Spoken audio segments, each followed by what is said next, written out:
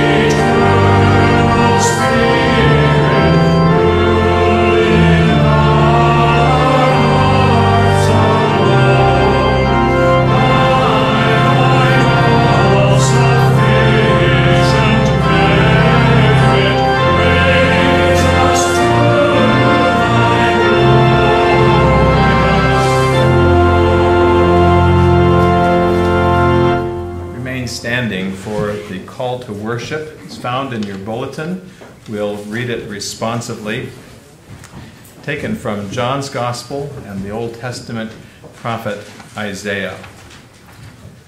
In the beginning was the Word, and the Word was with God, and the Word was God. All things were made by him, and without him was not anything made that was made. In him was life, and the life was the light of men.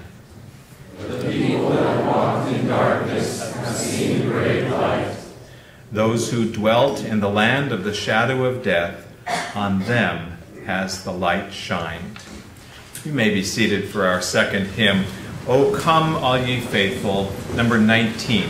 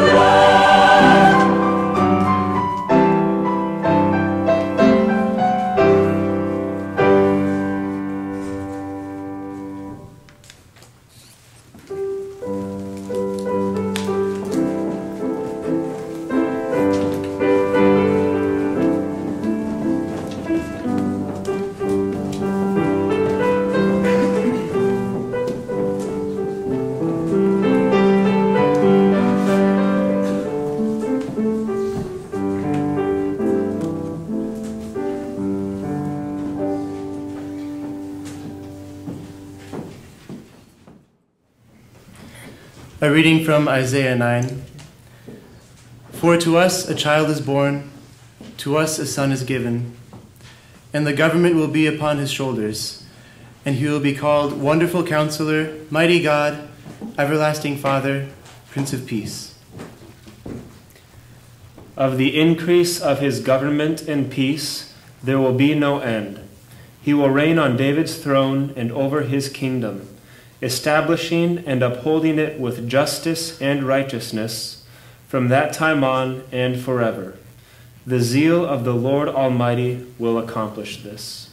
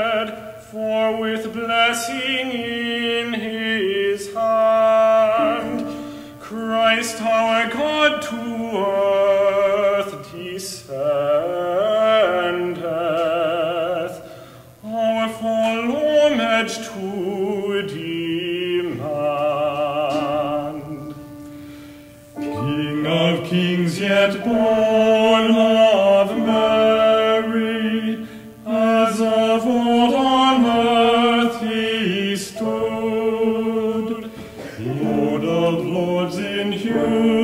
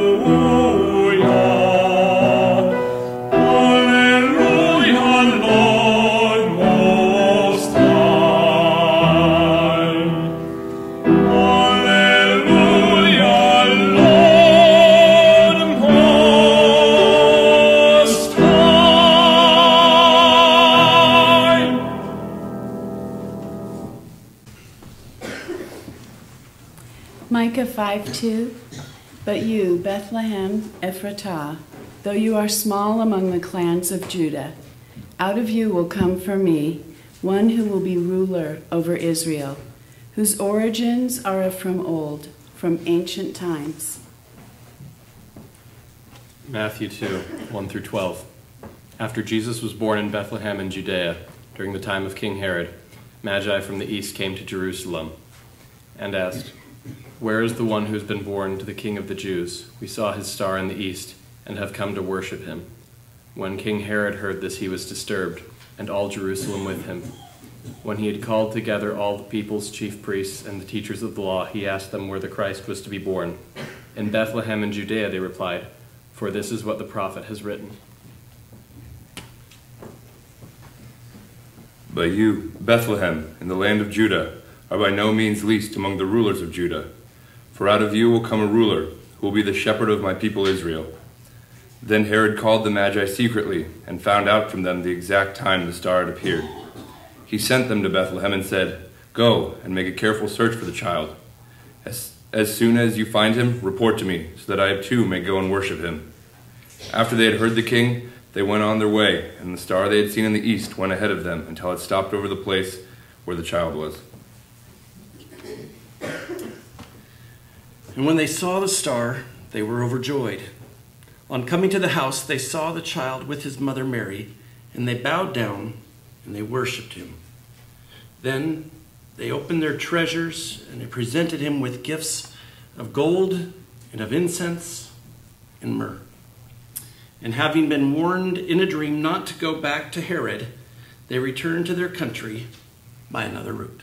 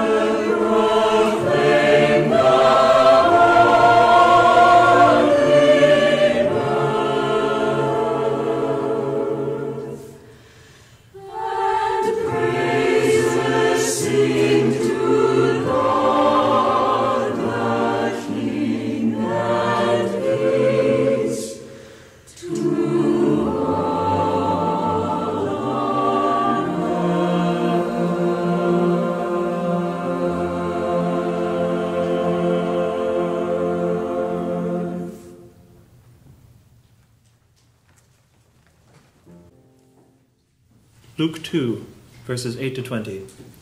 And there were shepherds living out in the fields nearby, keeping watch over their flocks at night. An angel of the Lord appeared to them, and the glory of the Lord shone around them, and they were terrified. But the angel said to them, Do not be afraid. I bring you good news of great joy that will be for all the people. Today, in the town of David, a Savior has been born to you. He is Christ the Lord. This will be a sign to you. You will find a baby wrapped in cloths and lying in a manger. Suddenly, a great company of the heavenly host appeared with the angel, praising God and saying, Glory to God in the highest, and on earth peace to men on whom his favor rests. When the angels had left them and gone into heaven, the shepherds said to one another, Let's go to Bethlehem and see this thing that has happened, which the Lord has told us about. So they hurried off and found Mary and Joseph and the baby, who was lying in the manger. When they had seen him, they spread the word concerning what had been told them about this child. And all who heard it were amazed at what the shepherds said to them. But Mary treasured up all these things and pondered them in her heart. The shepherds returned, glorifying and praising God for all the things they had heard and seen, which were just as they had been told. The word of the Lord. Thanks be to God.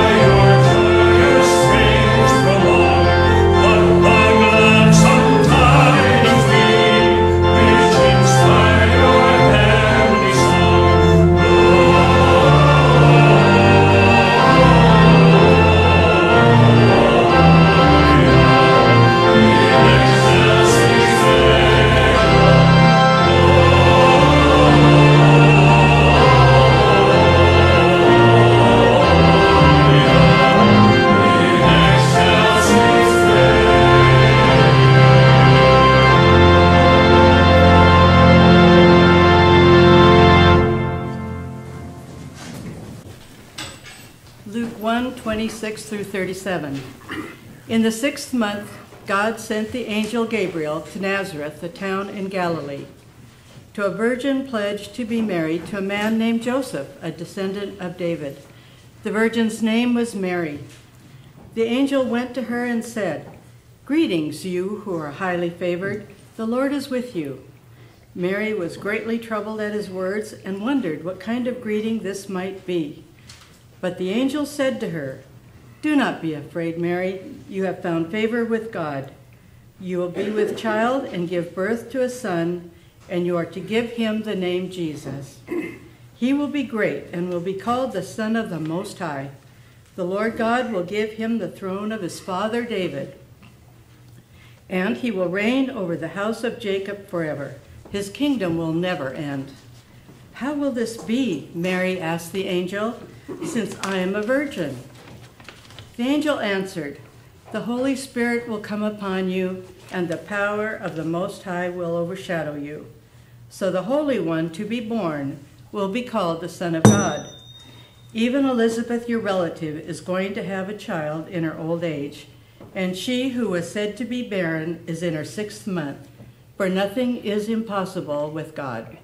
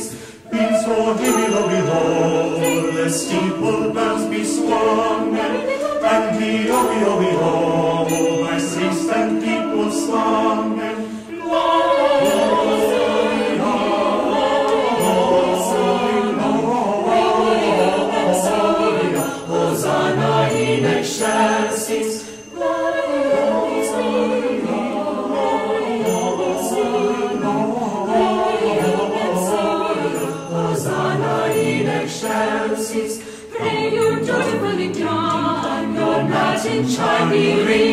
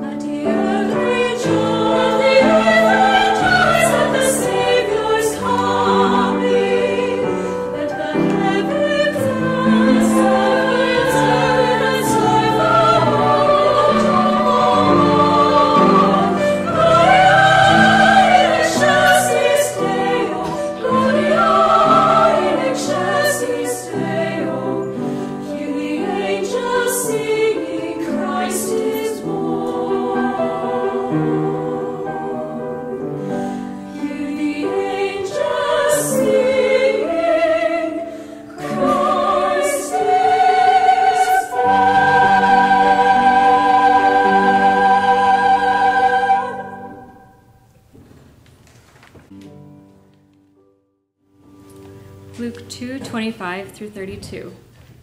Now there was a man in Jerusalem called Simeon who was righteous and devout. He was waiting for the consolation of Israel, and the Holy Spirit was upon him. It had been revealed to him by the Holy Spirit that he would not die before he had seen the Lord's Christ. Moved by the Spirit, he went into the temple courts. When the parents brought in the child Jesus to do for him what the custom of the law required, Simeon took him in his arms and praised God, saying, Sovereign Lord, as you have promised, you now dismiss your servant in peace. For my eyes have seen your salvation, which you have prepared in the sight of all people, a light for revelation to the Gentiles and for glory to your people Israel. John 8:12. When Jesus spoke again to the people, he said, I am the light of the world. Whoever follows me will never walk in darkness, but will have the light of life.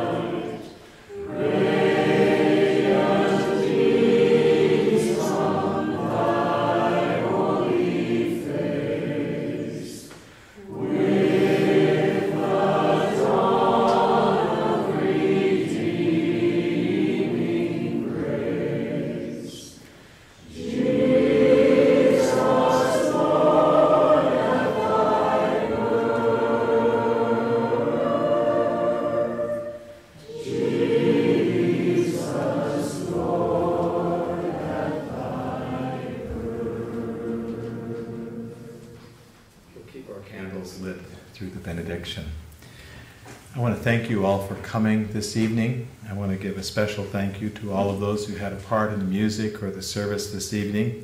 Special thanks to Sherry Erickson, who did the yeoman's work in the organization of this, uh, this uh, uh, service tonight. I think the words of Simeon that were read earlier would be a fitting part of our benediction tonight as Simeon held the little Christ child there in the uh, entrance to the temple. Uh, we are celebrating tonight his first advent, but also looking forward to his coming again. And the same words that Simeon applied to this infant Jesus can be our prayer also as we wait in anxious uh, anticipation of his coming again. Simeon's words Sovereign Lord, as you have promised, you now dismiss your servants in peace. For our eyes have seen your salvation, which you have prepared in the sight of all people, a light for revelation to the Gentiles and for glory to your people, Israel. Receive the benediction. The Lord bless you and keep you. The Lord make his face to shine upon you, be gracious to you. The Lord lift up his countenance upon you and give you his peace in the name of the Father, and the Son, and the Holy Spirit. Amen. Merry Christmas, everyone. As you blow out your candles, please make sure that the wax is fully dried before you lay it sideways.